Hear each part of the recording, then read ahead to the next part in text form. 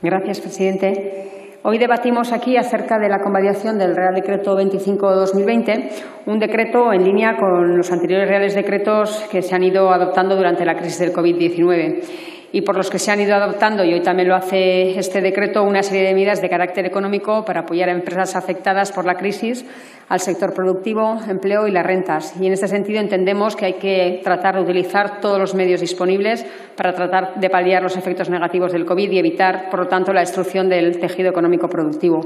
Para nosotros, de luego, en el corto plazo es prioritario fortalecer este tejido y luego, a posteriori, pues modernizar el mismo para asegurar un crecimiento. Un decreto para apoyar la reactivación económica del empleo que contiene, entre otras, varias medidas enfocadas al sector turismo, uno de los sectores, desde luego, más afectados por el COVID y que supone un importante porcentaje del PIB.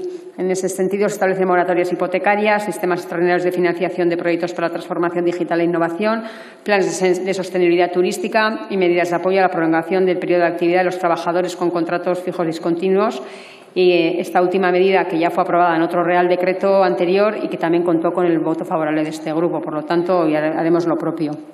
Por otro lado, el decreto establece una nueva línea de avales para empresas y autónomos y que, a diferencia de la anterior línea regulada por el decreto 8, para hacer frente a las necesidades de liquidez, esta nueva línea tiene como fin el fomentar la financiación dirigida a la inversión. Cuestión esta que este grupo ya venía solicitando en alguna propuesta de resolución del primer decreto de alarma, que no fue atendida, pero que hoy se adopta en este decreto.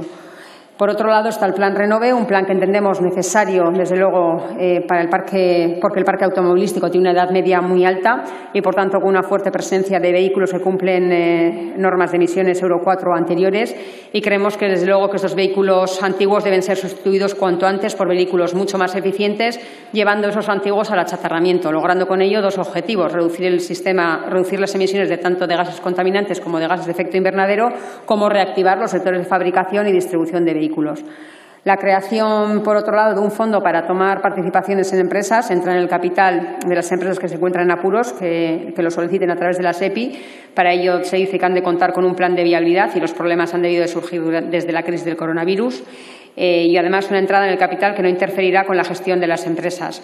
Una entrada del Estado en el capital de las empresas que puede ayudar a su supervivencia. Desde luego nosotros sí que estamos de acuerdo porque en Euskadi también tenemos un fondo mucho menor que se llama el Fondo Fincatus para la toma de participaciones en una empresa y que nosotros sí entendemos que tiene que ser una herramienta de financiación con un modelo de intervención, eso sí, razonado y eficiente. No vale tampoco cualquier, cualquier intervención.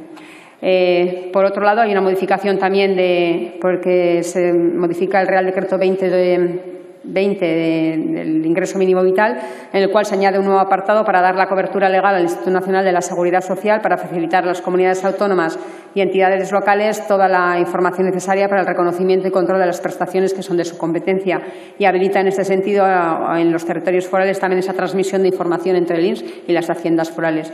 Desde luego, por todo ello y entendiendo que son medidas positivas para atender a estas consecuencias derivadas del COVID, nosotros votaremos a favor del Real Decreto Ley. Gracias. Muchísimas gracias.